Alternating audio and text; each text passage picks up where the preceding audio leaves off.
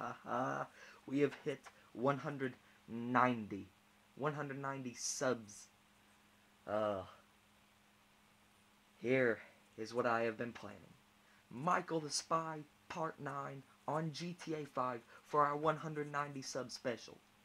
I want to tell you right off the bat that it is going to be in three parts, which means three separate videos.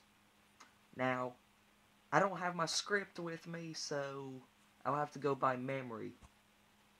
But anyways, uh, well, even, uh, well, if possible, maybe I'll even get it into two parts. I don't know. It's just, it's just going to, it's just going to depend.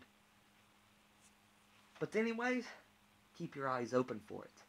It's coming, uh, it's coming soon.